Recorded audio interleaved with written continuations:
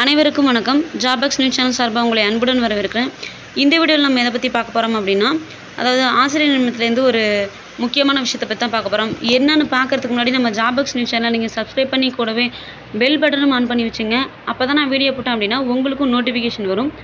So இன்றைக்கி budget அறிவிப்பில் வந்துட்டு என்ன அறிவிச்சிருக்காங்க அப்படின்னா பல்வி க பள்ளி கல்வித்துறை இருக்கு இல்லையா? ஸோ அதில் இருக்க அன்பில் மகேஷ் அவர் வந்து என்ன சொல்லியிருக்காரு அப்படின்னா நிறைய விஷயங்கள் வந்து அவர் சொல்லியிருக்காரு ஸோ அதில் இதுவும் ஒன்று என்ன சொல்லியிருக்காங்கன்னு பார்த்தீங்கன்னா ஆசிரியர் நியமனத்தை பற்றி அதாவது பொறியியல் கல்லூரிகளில் தொண்ணூற்றி ஏழு உதவி பேராசிரியர்கள் பணியிடங்களை நிரப்புவதற்கும் அரசு பல் தொழில்நுட்ப கல்லூரிகளில் நா நானூற்றி தொண்ணூற்றி மூணு விரிவுரையாளர் பணியிடங்களை நிரப்புவதற்கும் முப்பத்தி மூணு வட்டார கல்வி அலுவலர் பணியிடங்களை நிரப்புவதற்கும் ஆக மொத்தம் பதினஞ்சாயிரத்தி நூற்றி ஐம்பத்தி ஒம்பது ஆசிரியர் காலி பணியிடங்களை நிரப்புவதற்கு உத்தேச கால அட்டவணை வெளியிடப்பட்டுள்ளது அப்படின்னு சொல்லியிருக்காங்க.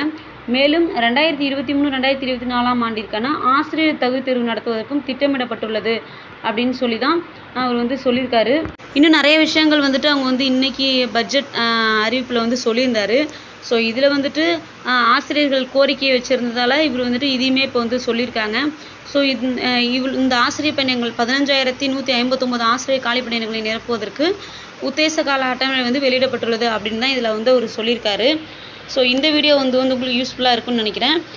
நிறைய பேர் வந்து கமெண்டில் கேட்குறீங்க எப்போ வந்து நிரப்புவாங்க அப்படின்னு சொல்லிட்டுலாம் இதுக்கு முன்னாடி போட்டிருந்த வீடியோலாம் கேட்டிருந்தீங்க. ஸோ இது வந்து கண்டிப்பாக இதுக்கு வந்து அட்டவணை வெளியிட்டு அவங்க வந்து எல்லாம் அறிவிச்சிருந்தாங்க அப்படின்னா நோட்டிஃபிகேஷனும் விட்டாங்க அப்படின்னா கண்டிப்பாக உங்களுக்கு நான் வீடியோ போடுறேன். ஆசிரியர் பற்றின வேறு ஏதாவது தகவல் வந்தால் கண்டிப்பாக உங்களுக்கு நான் வீடியோ போடுறேன். வீடியோ பிடிச்சிருந்தா லைக் பண்ணுங்கள் வேறு ஏதாவது தகவல் அப்படின்னா நீங்கள் கமெண்ட் பாக்ஸில் கமெண்ட் பண்ணுங்கள் நன்றி வணக்கம்.